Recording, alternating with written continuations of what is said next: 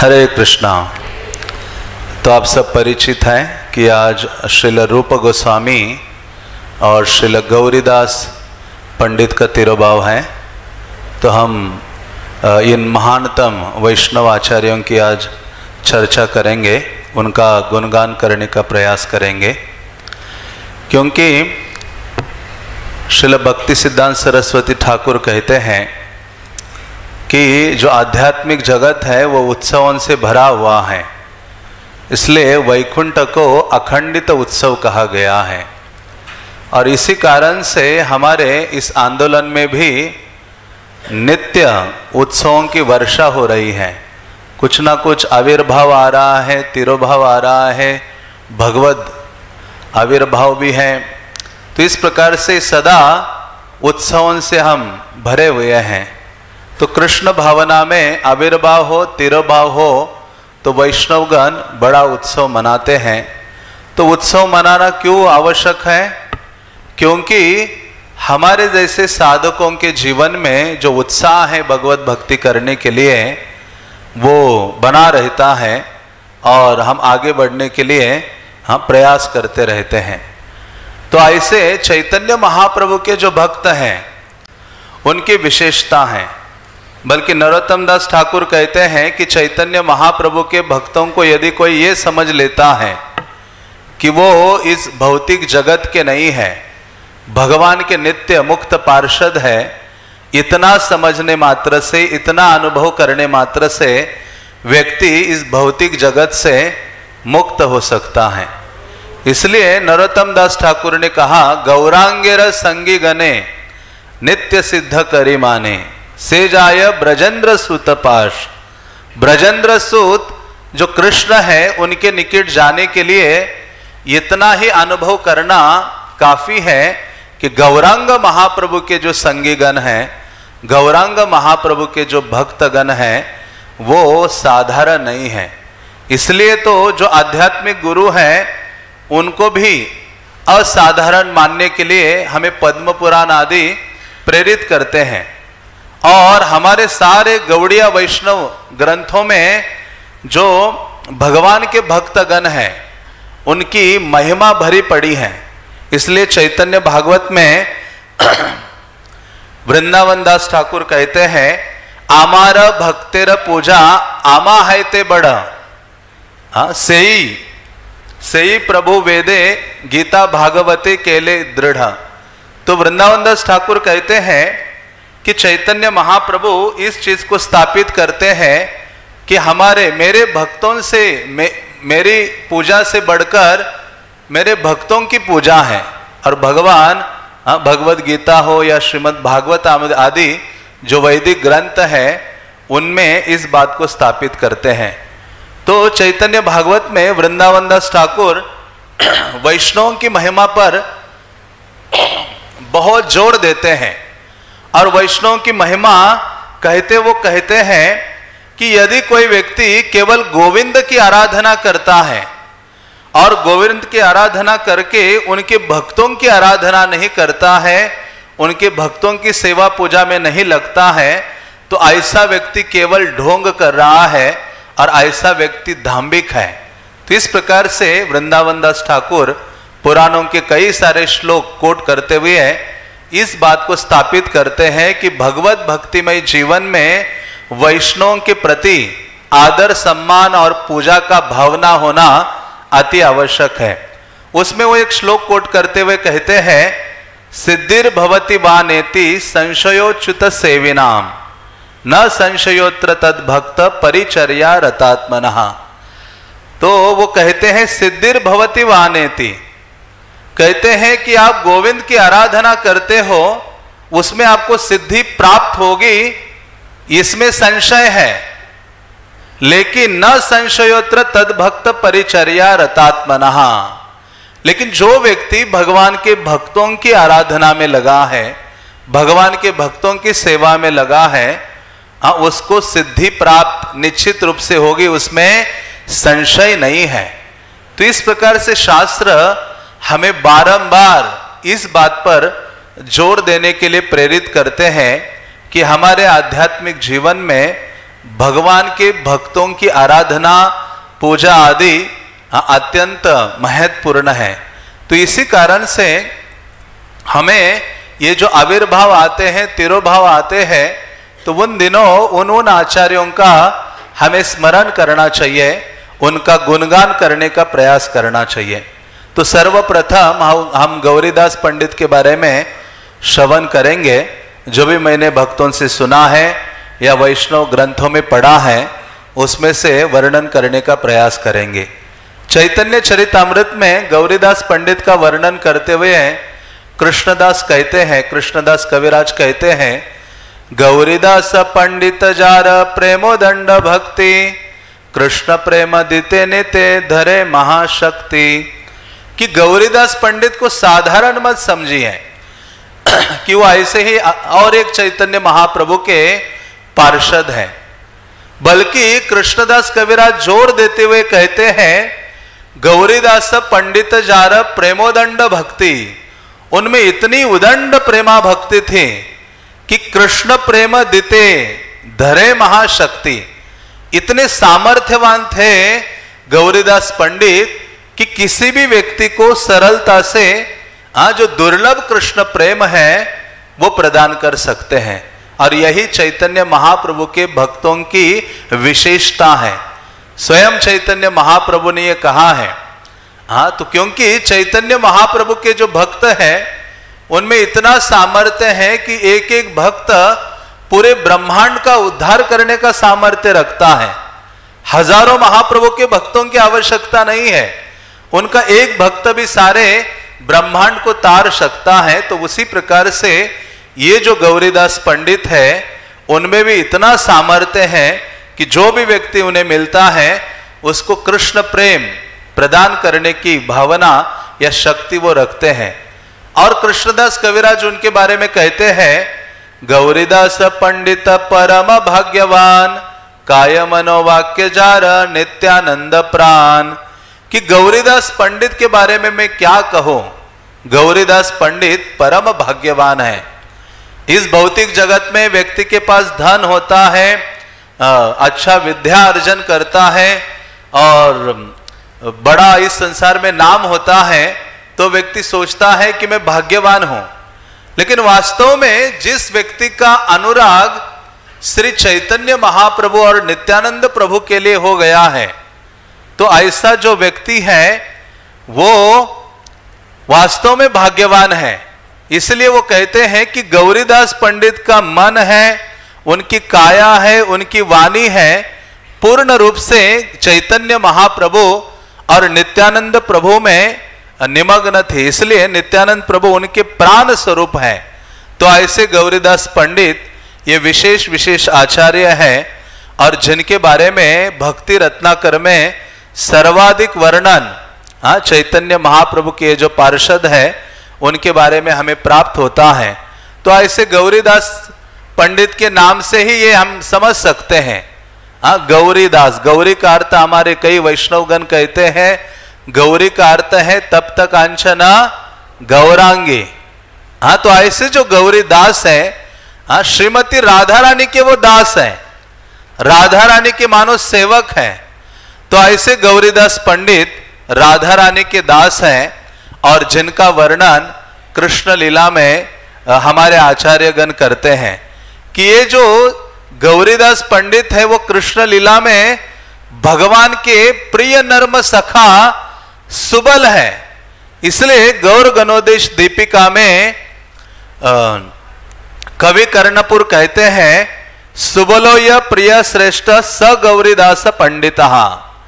कि गौरीदास पंडित ये सुबल सखा है, जो कृष्ण लीला में भगवान कृष्ण के साथ अनेकों लीलाएँ वो किया करते थे। इसलिए भक्ति रत्नाकर जब सुबल सखा का वर्णन करता है तो उसमें वो कहते हैं, गौरीदास पंडित परम प्रेममय श्री सुबल चंद्र जय हो गुनेर आलय, श्री सुबल कृष्ण प्रिय परम सुंदर जार चरित्रादि यत्ने वर्ण विज्ञवर।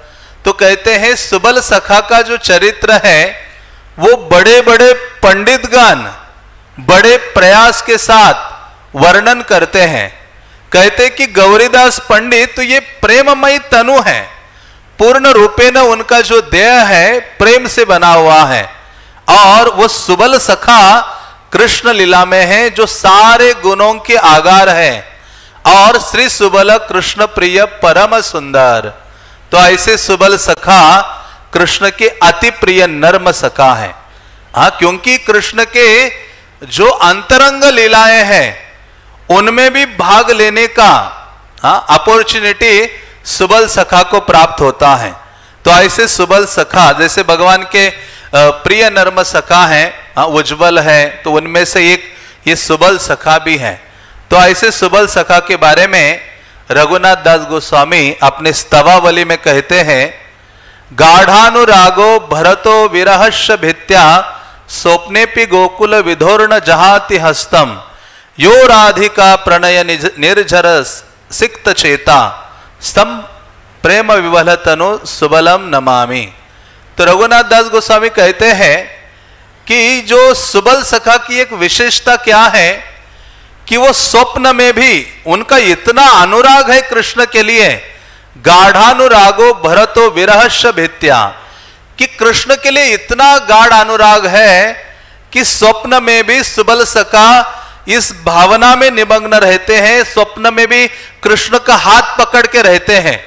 आ, कृष्ण से विरह उनको वो सहन नहीं कर सकते, इसलिए स्वप्न में भी कहते हैं कि वह कृष्ण का हाथ छोड़ने के लिए तैयार नहीं है और उनका जो मन है, वो किससे भरा हुआ है? यो राधिका प्रणय निर्जर सिक्त चेता राधा रानी का जो प्रेम है, उनकी प्रेम की धारा में वो निमग्न रहते हैं। तो ऐसे सुबल सका है, जो इस जगत में गौरीदास पंडित के रूप में अवतीर्ण हुए हैं। तो ऐसे सुबल सखा कई सारी जो लीला हम कार्तिक आदि में सुनते हैं कि किस प्रकार से राधा रानी बनकर जटिला और कुटिला के घर में सुबल सखा प्रवेश करते हैं। तो ऐसे सुबल सखा का वर्णन हमारे आचार्यगण करते हैं, जब वो गौरीदास पंडित का वर्णन करते हैं। तो कहते कि जिस प्रकार से सुबल सखा का अनुराग कृष्ण के लिए अति था उसी प्रकार से गौरीदास पंडित का अनुराग श्री चैतन्य महाप्रभु के लिए था। चैतन्य महाप्रभु से विरह जो गौरीदास पंडित है, वो कदापि सहन नहीं कर सकते थे। महाप्रभु से और नित्यानंद प्रभु से उनको अलग रहना असंभव सा था। तो ऐसे गौरीदास पंडित हाँ जो सुबल सका है गौर लीला में गौरीदास पंडित के रूप में प्रकट होते हैं और कहा जाता है कि जो गौरीदास पंडित ने जो प्रेम दिखाया है, चैतन्य महाप्रभु के प्रति, नित्यानंद प्रभु के प्रति, और जो सेवा की भावना प्रदर्शित की है, या इसी सेवा की भावना केवल जो नित्य पार्षद है, वही प्रस्तुत कर सकते हैं या वही दिखा सकते हैं। क्योंकि किसी व्यक्ति का भगवान के प्रति प्रगाढ़ प्रेम है तो उसका लक्षण क्या है कि वो भगवान की सेवा के लिए बड़ी सी बड़ी रिस्क लेने के लिए तत्पर रहता है। हाँ जैसे शिल प्रभुपाद है।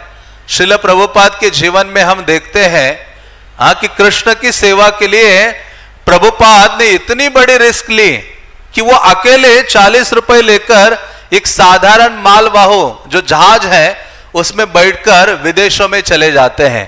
तो इसलिए कहा जाता है, वो उतना बड़ा भक्त है, जो गुरु और कृष्ण की इच्छा पूर्ति करने के लिए उनकी सेवा के लिए अपने जीवन को दांव में लगाता है, अपने जीवन में बहुत बड़ी रिस्क लेता है उनकी सेवा के लिए। तो उसी प्रकार से महाप्रभु के जितने पार्षद हैं, उन्होंने चैतन्य महाप्रभु की सेवा के लिए बड़ी बड़ी जो रिस्क है, वो अपने जीवन में ली है। तो इसलिए भक्ति रत्नाकर कहता है, श्री सुबल गौरीदास विदित सर्वत्र अभिन्न चैतन्य नित्यानंद प्रिय पात्र। तो कहते हैं, गौरीदास पंडित को कौन नहीं जानता है? गौरीदास पंडित, जो चैतन्य महाप्रभु को जानता है वह निश्चित रूप से गौरीदास पंडित को जानता है।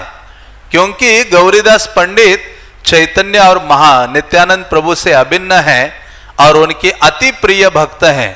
तो ऐसे गौरीदास पंडित का जो प्राकट्य है या जन्म है, बंगाल में, वर्धमान ज़िले में एक छोटा सा ग्राम है शालिग्राम वहाँ होता है, उनके पिता का नाम कंसारे मिश्र था, उनकी माता का नाम कमला देवी था, और वो छह भाई थे। दामोदर, जगन्नाथ, सूर्यदास, गौरीदास, कृष्णदास और नरसिम्हा चैतन्य। तो इनका नंबर चौथा था, गौरीदास पंडित का। तो गौरीदास पंडित के जो बड़े भ्राता है, सूर्यदास सरखेला जिनकी दो कन्या नित्यानंद प्रभु की हाँ पत्नियाँ बनी, वसुधा और जानवा माता। तो ऐसे गौरीदास पंडित बाल्यकाल से ही परम विरक्त थे और हमेशा निर्जन निवास करने की उनकी भावना रहा करते थे। तो ऐसे गौरीदास पंडित, आपने जो बड़े भ्राता है, सूर्यदास सरखेला, उनका परमिशन लेते हैं और बंगाल में एक अंबिका कालना नामक का स्थान है। अब वहाँ जाकर भगीरथी गंगा के पश्चिम तट पर एक वृक्ष के नीचे निवास करने लगते हैं, क्योंकि अंबिका कालना इसलिए उस स्थान का नाम पड़ा क्योंकि वहाँ अंबिका देवी का विशाल मंदिर है, या जिनको सिद्धेश्वरी देवी भी कहा जाता है। तो ऐसे निर्जल स्थान में गंगा के तट पर गौरीदास पंडित बैठ गए और वहाँ अपना भजन साधन किया करते थे और उनकी मनोवृत्ति सदैव चैतन्य महाप्रभु और नित्यानंद प्रभु में लगे होते थे और कृष्ण का सदैव गुणगान करते थे। चैतन्य महाप्रभु कई बार हाँ नवद्वीप से अंबिका कालना गौरीदास पंडित को मिलने जाया करते थे। तो कृष्णदास कविराज ने इतना अधिक वर्णन तो नहीं किया है। गौरीदास पंडित का लेकिन भक्ति रत्नाकर में जितनी भी गौरीदास पंडित की लीलाएँ हैं उनका वर्णन हमें प्राप्त होता है। तो भक्ति रत्नाकर में कई लीलाएँ हैं उनमें से आ, वो कहते हैं कि एक दिन चैतन्य महाप्रभु और नित्यानंद प्रभु शांतिपुर गए थे अद्वैत आचार्य से मिलने के लिए। एक दिन शांतिपुर है गौर राय गंगा पार हैया आई लेन अंबिकाय। तो एक दिन शांतिपुर में जब चैतन्य और नित्यानंद गए थे, और वहाँ अद्वैत आचार्य से मिलने के पश्चात वो कह, सोचने लगते हैं कि मुझे गौरीदास पंडित से मिलना है। तो वहाँ बीच में गंगा नदी है। तो चैतन्य महाप्रभु और नित्यानंद प्रभु हरि नदी ग्राम में आए, और वहाँ से उन्होंने क्या किया, एक नौका को लिया और गंगा को पार करके गौरीदास पंडित को मिलने के लिए पहुँच गए। और स्वयं चैतन्य महाप्रभु नित्यानंद प्रभु, वो नौका हाँ चला रहे थे अपने हाथ में चप्पू लेकर हाँ चलाते हुए पार हो गए और जैसे वो जाते हैं तो गौरीदास पंडित सामने होते हैं। गौरीदास पंडित को मिलते ही चैतन्य महाप्रभु उनका आलिंगन करते हैं। और उनके हाथ में जो नाव चलाने वाला चप्पू है, उन्होंने नाव में नहीं छोड़ा चैतन्य महाप्रभु ने। वो चप्पू लेकर गौरीदास पंडित के पास गए। उनका आलिंगन किया और गौरीदास पंडित के हाथ में वो चप्पू रखा और गौरीदास पंडित को कहा, भवन दिहायते पार करह जीवेर, ये तो कही आलिंगन कैला पंडितेर। तो महाप्रभु ने कहा कि, हे पंडित, हे गौरीदास पंडित, ये जो चप्पू है, जिस प्रकार से नदी को पार करने के लिए सहायक होता है उसी प्रकार से तुम क्या करो? इसी चप्पू के माध्यम से जितने इस संसार के जीव इस भव नदी में पड़े हुए हैं, भव नदी में गिरे हुए हैं, उनको क्या करो? पार करो। तो इस प्रकार से महाप्रभु वो चप्पू प्रदान करते हैं। तो ऐसे कहा जाता है कि चैतन्य महाप्रभु उनको उस समय नवद्वीप ले जाते हैं और अपने अद्भुत लीलाओं में उनको प्रवेश कराते हैं। और जब नवद्वीप से वापस आ रहे थे गौरीदास पंडित तो चैतन्य महाप्रभु ने उनको भगवत गीता आप प्रदान की, जो चैतन्य महाप्रभु की स्वयं हस्तलिखित प्रति थी। और महाप्रभु ने वो उनको दिया, और इतने गदगद हो गए गौरीदास पंडित, कि प्रतिदिन अपने निवास स्थल में जब वो रहते थे तो प्रतिदिन महाप्रभु के सुंदर हस्ताक्षर को देखकर क्रंदन करते थे। और प्रतिदिन भगवत गीता का पाठ करते थे और उस चप्पू को देखा करते थे जो महाप्रभु ने उनको प्रदान किया था। तो ऐसे कहा जाता है कि जो भी व्यक्ति अंबिका कालना में जाता है, बल्कि आज भी महाप्रभु के द्वारा लिखित वो भगवत गीता वहाँ विद्यमान है और वो जो चप्पू है, नाव चलाने वाला, वो भी वहाँ विद्यमान है। भक्ति रत्नाकर में कहा गया है प्रभु दत्त गीता पैठा, प्रभु सन्निधाने अद्यापि अंबिकाय देखे भाग्यवाने। तो आज भी जो भाग्यवान व्यक्ति अंबिका कालना में जाता है तो उसको इन दो चीज़ों का दर्शन प्राप्त होता है। और कहते हैं कि जो भी व्यक्ति अंबिका कालना में जाकर महाप्रभु के द्वारा प्रदत्त भगवत गीता और उस चप्पू को देखता है, देखने मात्र से हाँ उसकी अनंत पाप राशि नष्ट होती है और वो सामर्थ्यवान बनता है भगवान के धाम जाने के लिए। तो ये विशेष जो कृपा है, चैतन्य महाप्रभु उनके ऊपर करते हैं और भक्ति रत्नाकर में नरहरि चक्रवर्ती लिखते हैं आगे, वो कहते हैं कि कौन व्यक्ति सामर्थ्यवान है? गौरीदास पंडित की महिमा का वर्णन करने का। गौरीदास पंडित की महिमा अनंत और अपार है। ऐसा कहते हैं, कहते हुए वो लिखते हैं, सदा मत निताई चैतन्य गुण गाने, निताई चैतन्य बिना अन्य ना ही जाने। तो यही एक भक्त का गुण होता है कि जो भगवत भक्त है, वो भगवान के गुणगान में सदा निमग्न रहता है। तो गौरीदास पंडित तो ऐसे थे कि चैतन्य महाप्रभु और नित्यानंद प्रभु का गुणगान करने में सदैव लगे रहते थे। किसी और का गुणगान उनके मुख में नहीं आता था। इसलिए जैसे जगन्नाथ दास बाबा जी ने कहा था हाँ कि अरे, जिस जिस राजा के राज्य में आप निवास करते हो, उसी राजा का गुणगान करो। तो अभी ये कलियुगा के राजा चैतन्य महाप्रभु और नित्यानंद प्रभु है। तो वो कहा करते थे जगन्नाथ दास बाबा जी कि हमें क्या करना चाहिए? अभी गौरांग महाप्रभु और नित्यानंद प्रभु की महिमा का गान करते रहना चाहिए।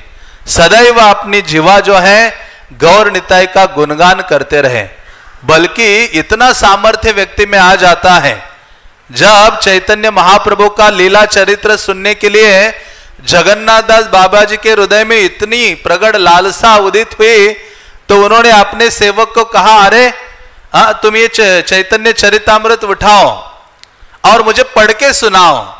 तो उनके जो सेवक थे, उन्होंने वो बुक उठाया, उन्होंने कहा, गुरुदेव, मैं तो पढ़ना लिखना नहीं जानता हूँ। सारे जो अक्षर है, वो एक शाही के समान है। मुझे तो कुछ समझ में नहीं आ रहा है। उन्होंने कहा, बस उठाओ और देखकर, देखना शुरू करो। जैसे ही जगन्नाथ दास बाबा जी महाराज के उस सेवक ने चैतन्य चरितमृत को उठाया और महाप्रभु का गुणगान करने की भावना और उनका आदेश पूर्ति करने के लिए जैसे उन्होंने उठाया तो उन्होंने कभी कोई अक्षर पढ़ा नहीं था बचपन में। लेकिन अपने आप ही चैतन्य महाप्रभु का गुणगान, वो पढ़ने लगे, सारे अक्षर उनको समझ में आने लगे। तो इसलिए वो कहा करते थे कि कलयुगा में तो श्री चैतन्य महाप्रभु और नित्यानंद प्रभु सबका उद्धार करने के लिए आए हैं। इसलिए जब श्रील प्रभुपाद ने गौर निताई की स्थापना के विदेश में पहली बार तो विग्रह की स्थापना करके प्रभुपाद प्रवचन देने के लिए बैठे और प्रभुपाद गौर निताई की ओर देखने लगे और देखकर प्रभुपाद के आँखों से आँसू बहने लगे थे। प्रभुपाद ने कहा, परम करुणा पहुदुई जन निताई गौर चंद्र कि चैतन्य महाप्रभु और नित्यानंद से अधिक दया दयालु कौन हो सकता है? तो इसलिए हमें भी चैतन्य महाप्रभु और जो नित्यानंद राम है, नित्यानंद प्रभु है, उनकी महिमा का गान करने का प्रयास करना चाहिए। इसलिए वो कहते हैं कि गौरीदास पंडित सदा निमग्न रहते थे महाप्रभु और नित्यानंद प्रभु के गुणगान में। इसलिए तो प्रभुपाद ने भागवतम को बॉक्स में बंद करके भेजा हाँ विदेशों में, लेकिन जब वो उस जहाज़ में जा रहे थे तो प्रभुपाद अपने साथ कौन सा ग्रंथ रख के जा रहे थे?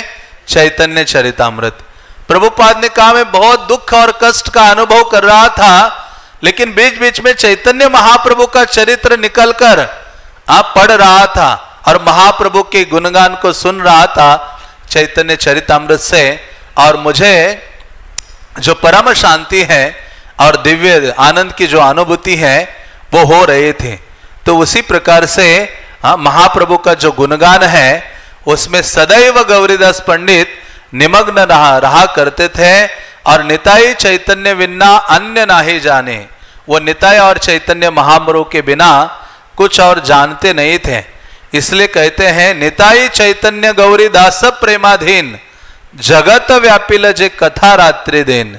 कहते हैं, इतना प्रेम गौरीदास पंडित का था, गौर निताई के प्रति, कि उस प्रेम के अधीन हो गए।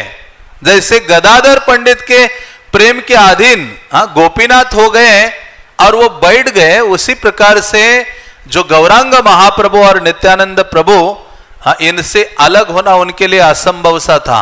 हाँ जो गौरीदास पंडित से अलग होना। क्योंकि जब चैतन्य महाप्रभु ने सन्यास लेने की बात सोची और महाप्रभु ने कहा, अभी मैं शीघ्र ही सन्यास लेने वाला हूँ तो नवद्वीप में चैतन्य महाप्रभु ने अपने पाँच भक्तों को बताया। ये जो रहस्य, पूर्ण जो समाचार है कि मैं शीघ्र ही सन्यास ग्रहण करने वाला हूँ। तो सारे भक्त दुखी हो रहे थे। तो तो चैतन्य महाप्रभु गौरीदास पंडित को नवद्वीप में याद करते हैं कि गौरीदास पंडित के पास मुझे जाना है और गौरीदास से मुझे कहना है कि मैं अभी संन्यास लेकर नवद्वीप को छोड़कर चले जाने वाला हूँ।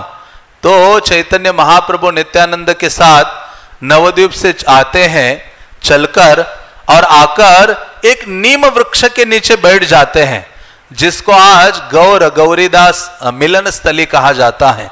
अंबिका कालना में आप जाते हैं तो आज भी बहुत विशाल वो वृक्ष है, जिसके नीचे गौरीदास पंडित और चैतन्य महाप्रभु का मिलन हुआ था, नीम वृक्ष के नीचे। और जब ये चैतन्य महाप्रभु वहाँ गए और उस वृक्ष के नीचे बैठ गए तो चैतन्य महाप्रभु को मिलने के लिए गौरीदास पंडित वहाँ आते हैं। और गौरीदास पंडित वहाँ आकर उनको मिलते हैं। और मिलकर चैतन्य महाप्रभु कहते हैं कि मैं शीघ्र ही सन्यास ग्रहण करने वाला हूँ। सन्यास ग्रहण करके नवदीप और अपने भक्तों को छोड़कर जाने वाला हूँ। जैसे गौरीदास पंडित ने ये बात सुनी, गौरीदास पंडित मूर्छित हो जाते हैं। हाँ क्योंकि वो सुबल सका है। इतना अनुराग है सुबल सका को कि स्वप्न में भी कृष्ण का हाथ नहीं छोड़ते हैं।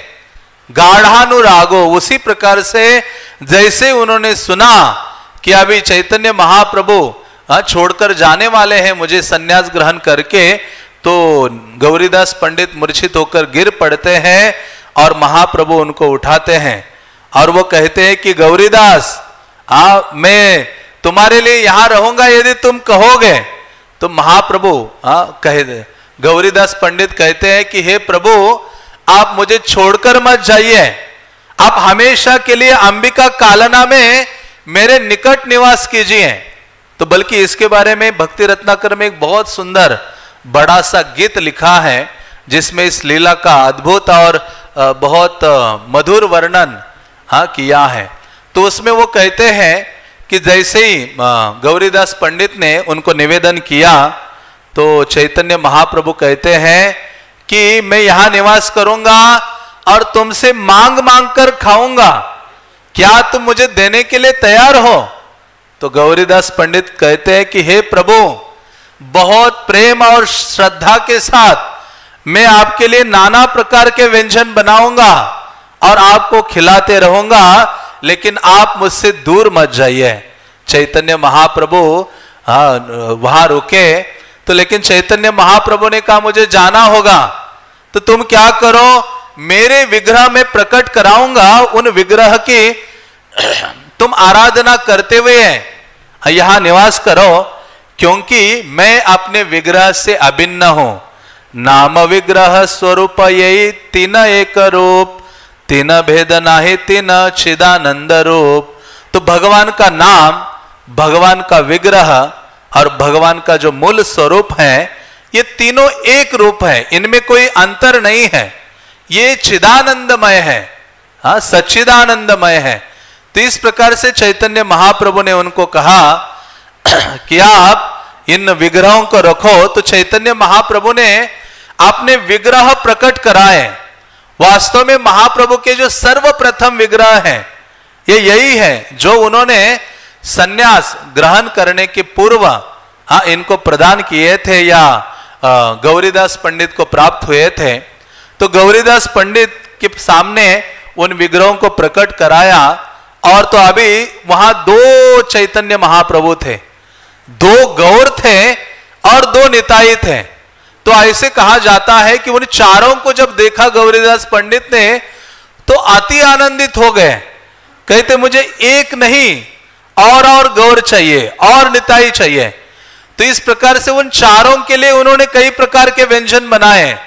चारों को सारे व्यंजन खिलाए और कहते हैं कि उनको सुलाया उनको चंदन अर्पित किया उनका चरण सेवा आदि किया। तो चैतन्य महाप्रभु आ, कहते हैं कि हे गौरीदास मुझे आ, मेरा जाने का समय आ गया है। मुझे जाना है। देखो तुम इन विग्रहों को अपने पास रखो। तो गौरीदास कहते हैं कि नहीं नहीं आ, इन विग्रहों को रखो हम दोनों चलते हैं।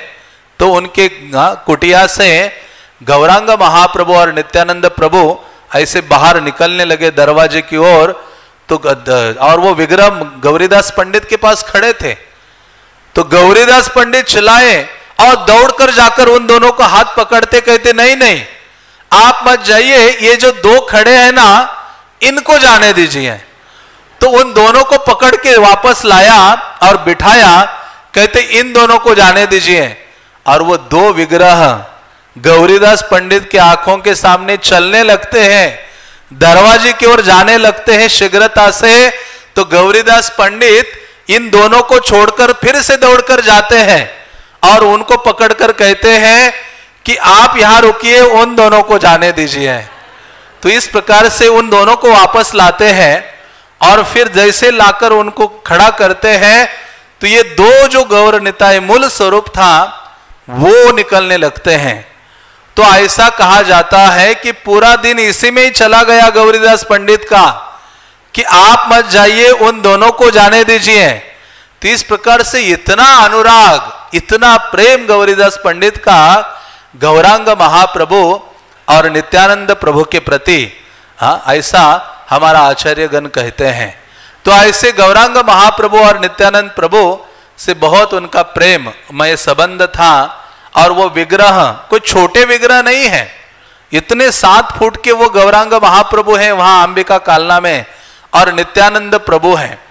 और जब आप उनका दर्शन करने जाते हैं तो जैसे बाके बिहारी के सामने पर्दा लगाते हैं, खोलते हैं। क्योंकि भगवान की आँखें भक्तों की आँखों में मिल जाए आई टू आई कांटेक्ट तो वो भक्त के साथ चले जाते हैं। तो उसी प्रकार से कहते हैं कि ये जो अंबिका कालना के गौर निताई है, जब वो भक्तों के आँखों में देखते हैं और विशेष रूप से जो संकीर्तन करने वाले भक्त हैं तो उनके साथ दौड़ के चले जाते हैं। तो इसलिए वहाँ भी क्या किया जाता है, वो ऐसा पर्दा लगाते हैं और फिर खोलते हैं। थोड़ी देर आप दर्शन करो, फिर वो पर्दा लगाएँगे। तो इस प्रकार से गौरीदास पंडित के ये जो गौर निताय है, वो आज भी विद्यमान है अंबिका कालना में और सभी को दर्शन देकर हाँ कृतार्थ कर रहे हैं। तो अंततः गौरांग महाप्रभु और नित्यानंद प्रभु वहाँ से निकल जाते हैं और चैतन्य महाप्रभु उसके बाद सन्यास ग्रहण करके जगन्नाथपुरी में निवास करने लगते हैं। तो ऐसे विग्रह की आराधना गौरीदास पंडित निरंतर कर रहे थे। तो एक दिन चैतन्य महाप्रभु और नित्यानंद प्रभु जो विग्रह रूप में थे, उन्होंने गौरीदास पंडित को कहा, एक दिन निताई चैतन्य प्रेमावेशे, मंद मंद हसिया कहे न गौरीदासे तो एक दिन चैतन्य महाप्रभु और नित्यानंद प्रभु प्रेम के आवेश में मंद मंद हँसते हुए गौरीदास पंडित को कहते हैं, कहते कि, हे मित्र सुबल, हा? हे गौरीदास, तुम तो पूर्व जन्म के मेरे सुबल सका हो। क्या तुम्हें याद है कि किस प्रकार से हम यमुना के तट पर जाया करते थे, गवों को चराया करते थे और कई प्रकार के जो खेल कूद हैं हाँ वो उनमें भाग लेते थे। तो ऐसे जैसे ये कहा, गौर निताय ने या चैतन्य महाप्रभु और नित्यानंद प्रभु ने, उसी क्षण जो गौर निताई के विग्रह है, वो तुरंत कृष्ण बलराम बन जाते हैं। तुरंत कृष्ण अपने हाथ में वेणु धारण करते हैं। बलराम मुसल आदि जो भी श्रृंग आदि हैं, वो सब धारण करते हैं। और गौल बाल के वेश में उनके समक्ष खड़े हो जाते हैं। जैसे ही गौरीदास पंडित ये देखते हैं तो गौरीदास पंडित ये देखकर, कृष्ण बलराम का ये रूप देखकर तुरंत मूर्छित होकर गिर पड़ते हैं। और भगवान की इच्छा से उनकी जो चेतना है, वापस आ जाती है और उठकर फिर से अपने विग्रह को देखते हैं। तो देखते अभी ये कृष्ण बलराम नहीं है। ये तो पूर्ववत मेरे गौर और निताई हो गए हैं। तो इस प्रकार से गौरीदास पंडित विशेष प्रेम उनका था, उन विग्रह के प्रति। और एक दिन गौरीदास पंडित ने रंधन गौरीदास पंडित ने कई प्रकार के व्यंजन बनाए और उन्होंने कहा, प्रभु प्रति कहे करह भोजन, कि हे गौर, हे निताय आप ये जो मैंने कई प्रकार के व्यंजन बनाए हैं, आप इनको स्वीकार कीजिए। तो इतने सारे व्यंजन बना, उनकी आयु काफ़ी हो गए थे।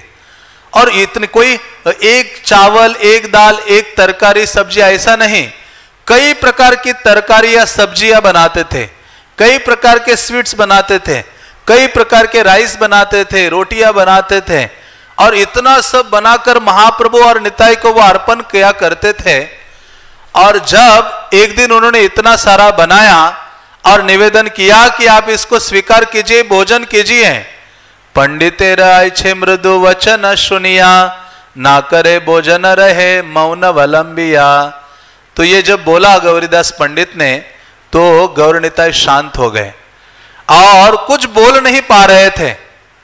तो उस समय क्रोध में आकर गौरीदास पंडित ने कहा बिना भक्षण ते यदि सुख पाओ मने, तबे मोरे रंदन कराह की कारणे। यदि आपको न खाकर इतना सुख मिलता है तो मुझे इतना हेवी कुकिंग करने में क्यों लगाते हो? पहले से बोलना नहीं आता है क्या कि नहीं खाऊँगा आज?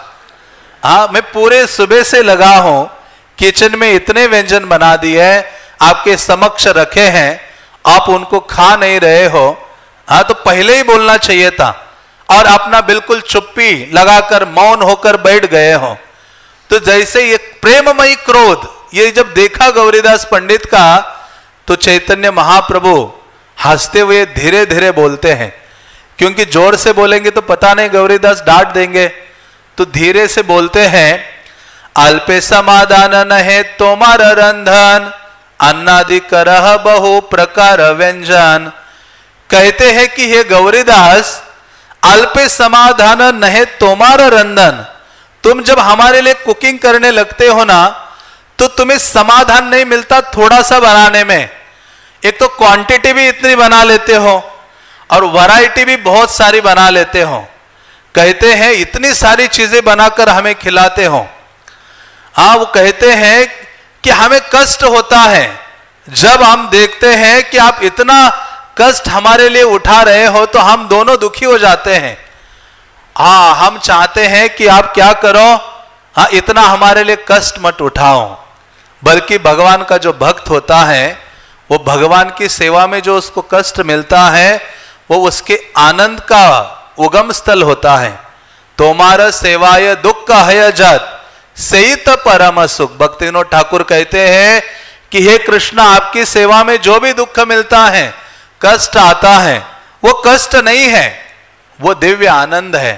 तो इस प्रकार से गौरीदास पंडित ने जब सुना तो उन्होंने कहा कि ठीक है, आपको कष्ट मिलता है तो कल से मैं केवल एक शाक बनाऊँगा। और वो भी बॉयल की हुई सब्ज़ी उसके, वो बॉयल की सब्ज़ी होगी और साधारण सा अन्न होगा, उतना ही आपको खिलाऊँगा। इससे अधिक कुछ नहीं खिलाऊँगा। तुरंत गौरनेताएँ शांत हो जाते हैं और कहते हैं, गौरीदास, ये सब खिला के हमें दंड मत देना। हाँ क्योंकि वो रोज वो बॉयल सब्ज़ी खाएँगे। बॉयल सब्ज़ी खाइए अपने कृष्णा हॉल में कभी? तो गौरनिताय कहते हैं कि वो तो उससे तो हमें दंड मिलेगा। तुम जो कर रहे हो ना, वो करते रहो। और आपके हाथ के जो व्यंजन है, वो खाने में हमें अत्यधिक आनंद की अनुभूति होते हैं। और तब जानबूझकर गौरनिताई उनके कुकिंग की प्रशंसा करने लगते हैं कि आप ये शाक बहुत अच्छी बनाते हो। हाँ आप ये, आपका ये अच्छा है, वो अच्छा है। तो इस प्रकार से प्रशंसा करने लगते हैं। तो ऐसा गौरनिताई को देख के आनंदित हुआ करते थे गौरीदास पंडित। तो एक दिन गौरीदास पंडित अपने गौर निताई के सामने जाते हैं और उनके हृदय में ये इच्छा आती है कि मैं अपने इस विग्रह को श्रृंगार करो, लेकिन बहुत मूल्यवान, अमूल्य रत्नों से करो, रत्न आभूषणों से। हाँ तो ले, उन्होंने जब ये सोच रहे थे और आपने जहाँ विग्रह थे, वहाँ उस मंदिर में प्रवेश उन्होंने किया तो क्या देखते हैं कि जैसे देखा गौर निताय को तो गौर निताय अमूल्य रत्न आभूषणों से सज दज कर खड़े हो गए थे। तो क्योंकि जैसे इनके हृदय में ये भावना आ गई थी कि मुझे मेरे गौर निताय को रत्न आभूषणों से बड़ा सुंदर श्रृंगार करना है। और जैसे ये सोच रहे थे मन में ये सेवा करने की भावना तो ये गौर निताय आपस में चर्चा करने लगे। देखो, अभी गौरीदास आ रहे हैं और वो सोच रहे रत्न आभूषण पहनाएँगे और सुंदर सजाएँगे। तो चलो, हम दोनों आपस में एक दूसरे को सजाकर खड़े हो जाते हैं। तो बहुत अमूल्य रत्न आभूषण गौरनिताई स्वयं ही धारण करते हैं और सज दज कर खड़े हो जाते हैं। और जैसे खड़े होते हैं, गौरीदास पंडित अंदर जब प्रवेश करते हैं तो तुरंत ही वो देखते कि, अरे, मैं तो इन्हीं आभूषणों के बारे में सोच रहा था। ऐसे ही श्रृंगार के बारे में सोच रहा था। हाँ तो भगवान को इस प्रकार से देखकर वो आनंदित होते हैं। और तब गौरीदास पंडित कहते हैं कि, हे प्रभु आपको कौन से अलंकार अच्छे लगते हैं? कौन से आभूषण आपको अच्छे लगते हैं? तो गौर निताई कहते हैं पुष्पेर भूषण सुख बाड़े अतिशय। मैं रत्न, सोना, चांदी आदि के आभूषणों, आभूषण धारण करने से इतनी प्रीति अनुभव नहीं करता हूँ। गौर निताई को क्या अच्छा लगता है? पुष्पेर भूषण सुख बाड़े अतिशय। पुष्प के जो अलंकार है, वो उनको अच्छे लगते हैं और उनके सुख में वृद्धि होती है। तो ऐसे गौर निताई के लिए फिर उन्होंने कई पुष्पों से अलंकार बनाए और बड़ी बड़ी मालाएँ बनाई। गौर को माला घुटने तक धारण करना बड़ा अच्छा लगता है। इसलिए वो गौर को मालाएँ धारण करते थे पूरे घुटने तक। इसलिए आप मायापुर जाते हो पंच तत्व लंबी लंबी मालाएँ घुटने तक ऐसा धारण करते हैं। तो इस प्रकार से आ, उन्होंने पूरा पुष्पों से उनको सजाया गौर निताई को और इन्होंने सजाकर एक शीशा लिया और गौर निताई को दिखाया कि देखो आप कितने सुंदर लग रहे हो। तो जैसे गौर निताई ने देखा तो गौर निताय एक दूसरे को देखकर हंसने लगे कि वास्तव में गौरीदास पंडित जब हमारा श्रृंगार करते हैं तो हमारा सौंदर्य और बढ़ जाता है। तो इस प्रकार से हाँ ये जो गौर निताय हैं। हाँ उन, उनके लिए बहुत अधिक प्रिय थे तो एक दिन ये जो गौरीदास पंडित है, गदाधर पंडित के पास जाते हैं और उनके पास जाकर कहते हैं कि आज सुबह सुबह है गदाधर, मैंने आपको देखा है तो निश्चित रूप से मेरा मंगल होगा। तो गदाधर पंडित कहते हैं, आपका मंगल नहीं, आपका दर्शन करने से मेरा मंगल होगा। तो बताते गौरीदास गदाधर पंडित कहते कि गौरीदास, आप कैसे मैं आपको संतुष्ट करूँ? क्या मैं आपको प्रदान करूँ? तो गौरीदास कहते हैं, मैं तो आपका हृदय चाहता हूँ। तो गौरीदास पंडित जो हृदयानंद है, जो गदाधर पंडित के पास थे युवक, उनको लेने के लिए आए थे। तो गदाधर ने उनको समर्पित कर दिया गौरीदास पंडित के पास और गौरीदास पंडित हृदयानंद को लाकर उनको दीक्षा प्रदान करते हैं। और उनको गौर निताय की सेवा में लगाते हैं। तो नज़दीक ही गौर निताय का उत्सव आने वाला था। तो गौरीदास पंडित दूरस्थ गाँवों में चले गए कुछ सामान आदि लाने के लिए, एकत्रित करने के लिए। और बहुत दिनों से वो आ नहीं रहे थे और उत्सव के लिए केवल दो दिन बचे थे। बड़ा सा उत्सव हर साल वो किया करते थे। तो हृदयानंद ने सोचा कि अभी मेरे गुरुदेव गौरीदास आ नहीं रहे हैं तो इन्होंने इनविटेशन कार्ड छाप दिया, सब जगह वितरित कर दिया सब अनाउंसमेंट कर दिया, सारी तैयारी कर दी। और कल उत्सव है तो आज एक दिन पहले गौरीदास पंडित आकर पहुँच गए। जैसे गौरीदास पंडित आकर पहुँचे तो गौरीदास पंडित ने जब देखा कि इसने सारी व्यवस्था कर दी है तो इन्होंने उनको डांटना शुरू कर दिया। यह उनका बाह्य क्रोध था। गौरीदास पंडित कहते, तुम स्वतंत्र हो गए हो। आपने गुरु का स्थान लेना चाहते हो। तो ऐसा कई प्रकार से उनको डांटने लगे और उन्होंने कहा कि, आप अभी यहाँ से चले जाओ। तो ये हृदयानंद वहाँ से चले जाते हैं और जाकर अंबिका कालना में ही गंगा के तट पर एक विशाल वृक्ष के नीचे जाकर बैठ जाते हैं और गौर निताई का नाम कीर्तन करते हैं। तो यहाँ जो उत्सव का दिन आ गया तो उस उत्सव में भाग लेने के लिए आसपास से हज़ारों लोग आ रहे थे। एक व्यक्ति ने पूरा नौका भरकर बहुत सारा सामान, धन आदि सब कुछ लेकर आए थे और जैसे उस व्यक्ति ने नदी के किनारे हृदयानंद को बैठा हुआ देखा तो कहा कि आप इसको स्वीकार कीजिए। तो कहते, नहीं नहीं, आप मेरे जो गुरुजी हैं गौरीदास पंडित उनके पास जाकर ये प्रदान कीजिए।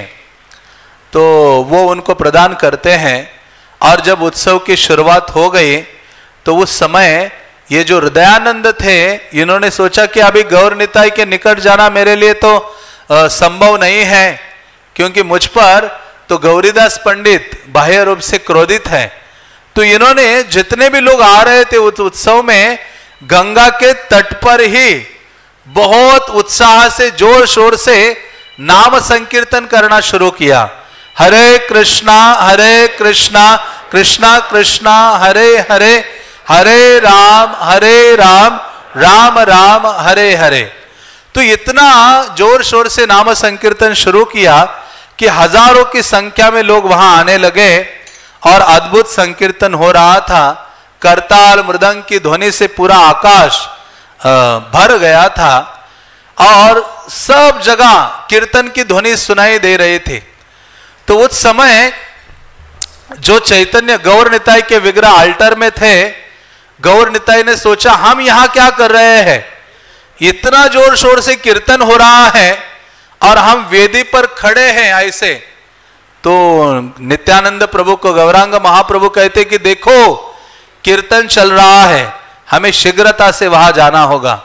क्योंकि गौरीदास पंडित के जो गौर निताय हैं जैसे जगन्नाथ को कहा जाता है, भक्त प्रेमी जगन्नाथ। भक्तों से बड़ा प्रेम रखते हैं जगन्नाथ। तो उसी प्रकार से ये गौरीदास पंडित के जो गौर निताई है, उनको संकीर्तन प्रेमी गौर निताई कहा गया है। जिनको संकीर्तन बड़ा प्रिय है, और जहाँ संकीर्तन दिखाई देता है, गौर निताय दौड़ के जाते हैं। तो ये गौर निताय उस अल्टर से निकल के चले गए। अभी भोग लगाने का समय आ गया। गौरीदास पंडित को पता नहीं था अल्टर में है या नहीं है। उन्होंने अपने दूसरे सेवक गंगादास को कहा कि जाओ जरा, भोग लगाने का समय हो गया है, जाकर हाँ भोग लगाने की तैयारी करो, सेवा शुरू करो।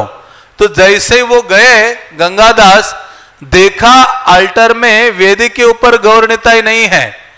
हाँ तुरंत ही गौरीदास को बोलते हैं तो गौरीदास पंडित समझ गए कि हृदय नंद के प्रेम से क्या हुए हैं, वो आविभूत होकर गौर निताय, वशीभूत होकर गौर निताय चले गए हैं।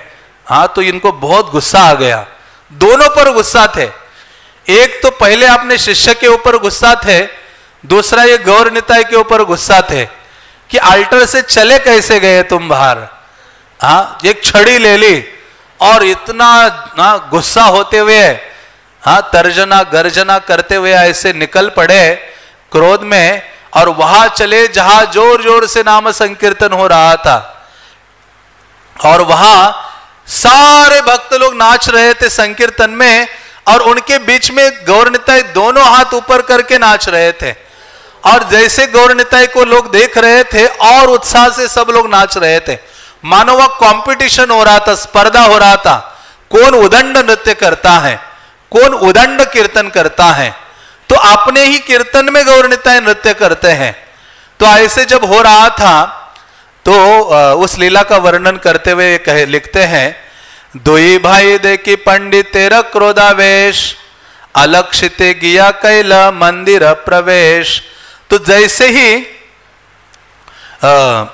गौरीदास पंडित वहाँ पहुँचे तो किसी ने गौरीदास पंडित को देखा नहीं, लेकिन ये गौर निताय का ध्यान चला गया कि ये काट एक छड़ी लेकर आया है, अभी हमारी कोई खैर नहीं है।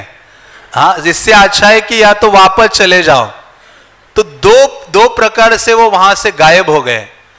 नरहरि चक्रवर्ती कहते हैं कि जैसे क्रोध में गौरीदास को दूर से आते हुए देखा तो तुरंत वहाँ से गायब होकर एक तो मंदिर में चले गए, जहाँ वेदी पर जाकर बैठना था, वहाँ जाकर खड़े हो गए अल्टर में। और दूसरा क्या हुआ? चैतन्य चंद्र रय अद्भुत विलास, प्रवेश हृदय हृदय देखे गौरीदास। दूसरी चीज़ गौरीदास पंडित ने देखी कि ये जो गौर निताय है, वो अप्रकट होकर उनके जो शिष्य हैं हाँ हृदय चैतन्य हाँ उनके हाँ हृदय में चले जाते हैं, चले गए हैं। प्रवेश हृदय हृदय, हृदयानंद के हृदय में चले गए। निबारित नारे आश्रु हृदय हृदय चैतन्य चाँद देखी निबारित नारे आश्रु अनिमेश आखी।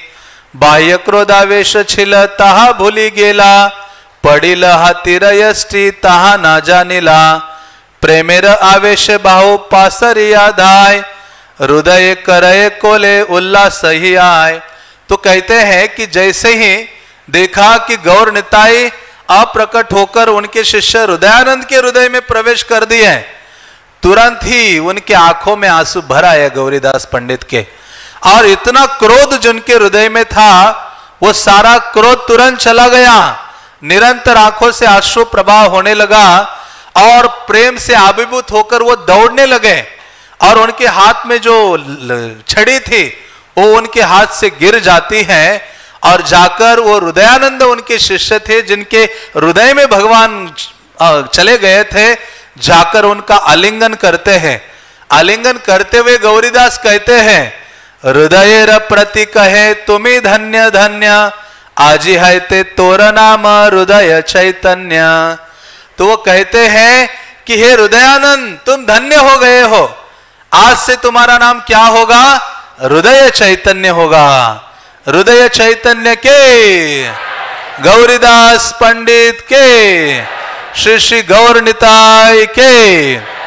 और फिर से वो हृदय चैतन्य को लाते हैं, कहते हैं कि, गौर निताई की सेवा करने का अधिकार तो केवल तुम्हारे पास है। हाँ क्योंकि भगवान तुम्हारे हृदय में प्रविष्ट हो गए हैं। तो इस प्रकार से गौरीदास पंडित हाँ का विशेष चरित्र है, जो भक्ति रत्नाकर में वर्णित करते हैं, नरिहर, नरहरि चक्रवर्ती। हाँ तो इस प्रकार से हमें गौरीदास पंडित का जो अनुराग है गौरनिताय के प्रति हाँ उसका स्मरण करना चाहिए, उनसे आज के दिन विशेष प्रार्थना करनी चाहिए। कि मेरा अनुराग, गौरांग महाप्रभु, नित्यानंद प्रभु और उनके पार्षदों का गुणगान करने में हो और गौर निताय की सेवा और नाम संकीर्तन करने में हो। तो आज रूप गोस्वामी का भी तिरुभाव है। शिल रूप गोस्वामी विशेष विशेष आचार्य हैं। हम सबको रूपानुग के रूप में जाना जाता है। और शिल प्रभुपाद ने तो कृपा की है। विशेष, रूप गोस्वामी के चरणों का आश्रय लिया राधा दामोदर में। और वहाँ से ही इस आंदोलन का बीज बोया और पूरे विश्व में लेकर चले गए। ऐसा कहते कि प्रभुपाद प्रतिदिन रात्रि में उठते थे, रूप गोस्वामी के समाधि में झाड़ू लगाया करते थे। क्रंदन करते थे कि, हे रूप गोस्वामी, आप मुझ पर कृपा कीजिए। और कृपा करके क्या कीजिए? कि मैं अपने आध्यात्मिक गुरु की जो आज्ञा है, उसको पूर्ण कर सकूँ। तो रूप गोस्वामी ही वास्तव में शिल प्रभुपाद के ऊपर अपने आसिम कृपा का वर्षाव करते हैं, जिसके कारण ये जो आंदोलन है, प्रभुपाद पूरे विश्व में लेके जाते हैं। और इसलिए नरोत्तम दास ठाकुर ने लिखा है, श्री चैतन्य मनोभीष्टम स्थापितम जैन भूतले स्वयं रूप कदा मह्यम ददाति स्वपदांतिकम तो ये रूप गोस्वामी की प्रार्थना नरोत्तम दास ठाकुर ने लिखी है, जो हम प्रतिदिन गाते हैं और प्रभुपाद ने रूप गोस्वामी के दो महानतम ग्रंथ हमें प्रदान किए हैं स्वयं। एक है भक्ति रसामृत सिंधु। प्रभुपाद कहते थे, इसकॉन की वो हमारी लॉ बुक है, कानून की किताब है हमारे लिए। और दूसरा है उपदेश अमृत जो विशेष अमृतमय ग्रंथ है। चैतन्य महाप्रभु जब पुरी में अपने भक्तों को उपदेश दे रहे थे समंदर के किनारे में तो उस समय रूप गोस्वामी महाप्रभु के पीछे बैठे थे।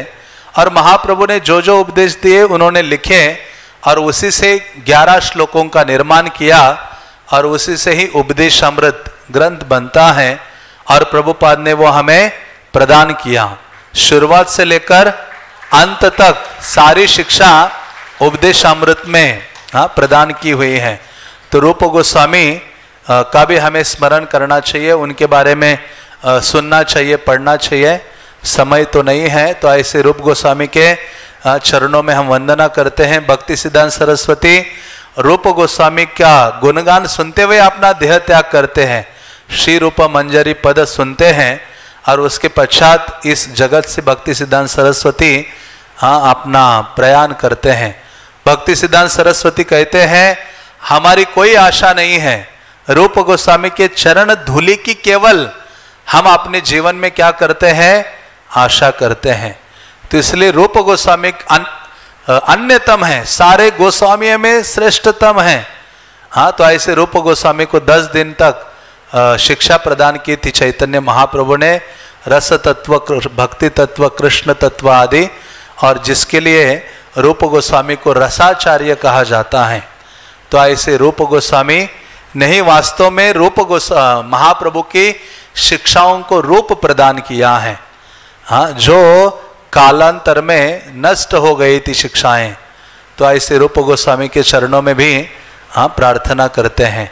हरे कृष्णा हरे कृष्णा कृष्णा कृष्णा, हरे हरे हरे राम हरे राम राम राम, हरे हरे। श्रील रूप गोस्वामी तिरुभाव तिथि के, श्रील गौरीदास पंडित तिरुभाव तिथि के श्रील प्रभुपाद के निताय गौर प्रेम